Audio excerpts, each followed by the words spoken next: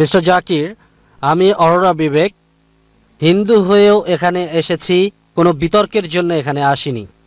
তবে আমার একটা প্রশ্ন, আহম ব্রাহ্মা, আহম বিষ্ণু, আহম মহেশ, এগুলো বলেছিল আমার ভালো বন্ধুদের একজন। ঘটনাক্রমে সে আমাদেরকে কোরআন এবং বাইবেল নিয়ে বলেছিল। তবে আমার প্রশ্ন হলো, আমার প্রশ্ন চারটা, আপনার কাছে এক নাম্বার। বেশি গুরুত্বপূর্ণ প্রশ্ন প্রথমে। আচ্ছা, যদি আচ্ছা। সময় থাকে অবশ্যই আপনাকে আরেকটি প্রশ্ন করার সুযোগ দেব। না। কারণ যদি সবাই দেখে আর আমি কোঅর্ডিনেটর হিসেবে এটা করি আমার মনে হয় এটা অন্যদের প্রতি অবিচার আচ্ছা, ঠিক আছে আমি বুঝতে পেরেছি। শুধু একটা প্রশ্ন যেহেতু মিস্টার জাকির কথা বলেছিলেন জেনোসিস ভার্সন ইত্যাদি বিষয়ে একটা প্রশ্নই করতে চাই। যেহেতু আপনি কোরআন আর বাইবেলের মধ্যে একটা তুলনা করেছেন কেন বেদ কোরআন আর বাইবেলের মধ্যে তুলনা করছেন না। সবগুলোই নিজ ক্ষেত্রে বহুমুখী। একটা আরেকটার সাথে ঘটনাক্রমে সম্পর্কিত। ঈশ্বর সর্বশক্তিমান হলেন এক, যেভাবেই তাকে ডাকা হোক, আল্লাহ, ভগবান বা যিশু নামে। এটা নিশ্চিত করছেন না কেন? সব মানুষেরই বলা উচিত, ঈশ্বর কেবল একজন।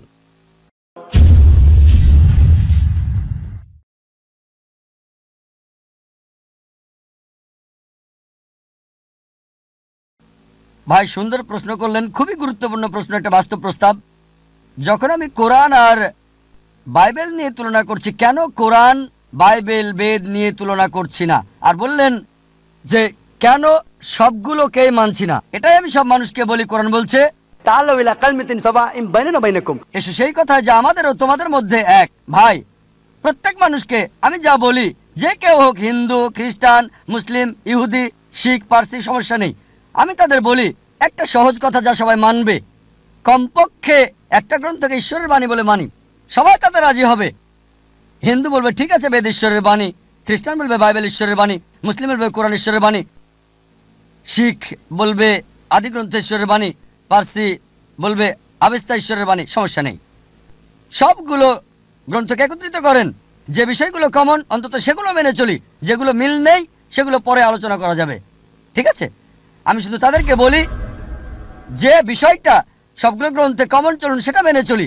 কারণ দুঃখিত কমপক্ষে স্যার দুঃখিত স্যার কথা বলার জন্য। ভাই আমার উপর কথা বলার জন্য পরে আমি প্লিজ শেষ করার পরে প্লিজ উত্তরটা শেষ করার পরে আপনি বলতে পারবেন। হয়তো যেটা বলতে চান সেটা আমার উত্তরে আছে ঠিক? হ্যাঁ? আস্তে আস্তে যাই।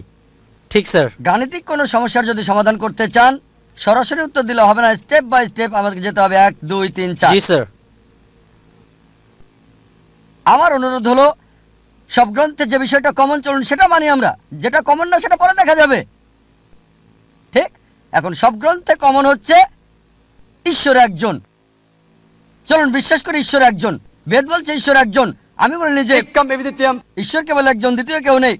বাইবেল বলছে যে গসপেল মার্ক অধ্যায় বারো অনুচ্ছেদ উনত্রিশ বুক অব ডিটোনমি অধ্যায় ছয় অনুচ্ছেদ চার।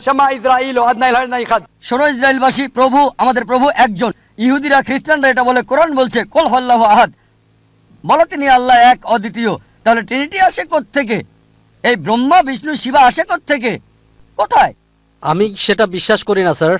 ভাই আমাকে শেষ করতে দিন। কোরআনে ব্রহ্মার কথা বলা হয়নি কোনো শিবার কথা বলা হয়নি যিশুর কথা বলা হয়নি যে তিনি ঈশ্বর।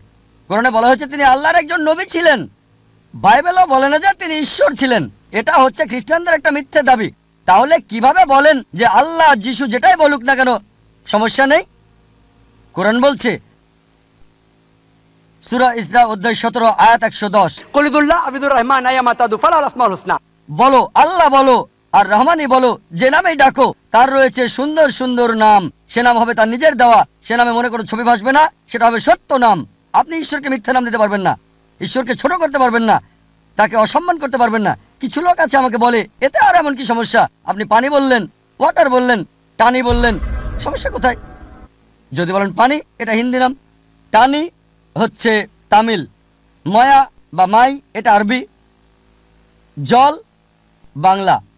সমস্যা নেই। যে কোনো নামে বলতে পারেন। কিন্তু কোনো সকালে আমার এক বন্ধু এসে বলল প্রত্যেকদিন সকালে পানি খাই। ডাক্তার আমাকে বলল, বেশি করে পানি খান, তবে পানি খাওয়ার পর আমার বমি হলো।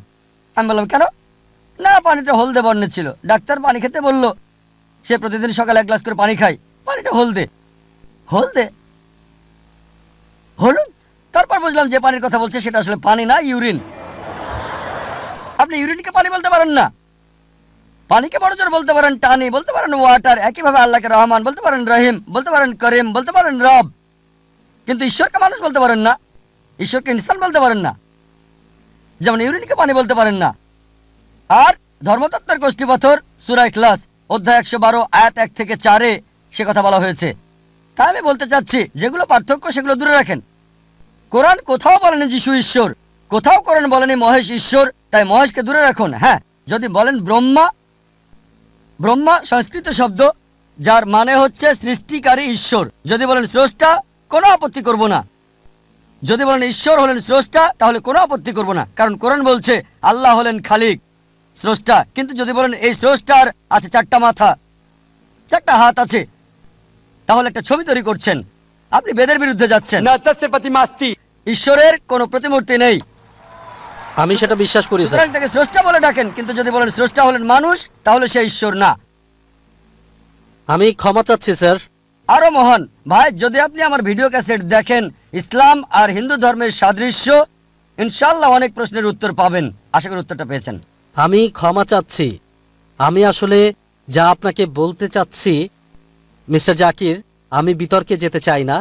এখানে তবে বিষয়টা হলো মিস্টার জাকির যা বলতে চাচ্ছিলেন সবই ঠিক আছে। আর এখানে লোকজন যা চাচ্ছিল, আমি আসলে যা জানতে চাই, ঠিক তিনি যা বক্তব্যে আমাদেরকে বলেছেন, আমরা তার কাছে ঠিক রিনাইসা শুনতে চাই। রিনাইসা পৃথিবীর স্রষ্টা, আর এটা যেভাবেই বলা হোক, আল্লাহ, ভগবান বা যিশু পার্থক্য করা উচিত নয়। এটাকে সমন্বয় করতে হবে ভিন্নতা থেকে। ধন্যবাদ। ভাই, যদি আমার লেকচার শুনে থাকেন, আল্লাহ বলে ডাকেন, কোনো সমস্যা নেই। অথবা ডাকেন, ভগবান, এখন দেখার বিষয় হচ্ছে ভগবান মানেটা কি? রজনীশের মতে, ভগবান মানে অন্য কিছু, জানেন কিনা জানি না। রজনীশের মতে, রজনীশ যে সংজ্ঞা দিয়েছে, তাতে আমি বিশ্বাস করি না যে ভগবান ঈশ্বর, তাই আমাদেরকে ঈশ্বরের ধারণায় বিশ্বাস করতে হবে। স্রষ্টা সৃষ্টিকারী, মেকার। যদি ঈশ্বরের সেই ধারণাটা থাকে, আপনি তাকে সঠিক নামে ডাকবেন, ভুল শব্দ ব্যবহার হবে না। যে শব্দগুলো সব গ্রন্থে কমন আমাদের কোনো আপত্তি থাকবে না। তবে যিশুর আপনি যা বললেন, সেটা কোরআন এবং বাইবেলে কমন না। কোরআন বলছে যিশু হলেন আল্লাহর নবী, আর বাইবেলও বলছে তিনি ঈশ্বরের নবী। কিন্তু খ্রিস্টানরা এটা ভুল বোঝে যে যিশু ঈশ্বর দাবি করেছিলেন। তাই খ্রিস্টানরা যদি বাইবেল বুঝতে ভুল করে, তাদের সাথে আমি একমত হব কেন? আমি সত্যটা তুলে ধরবো। আমরা ঝগড়া করার জন্য এখানে আসিনি।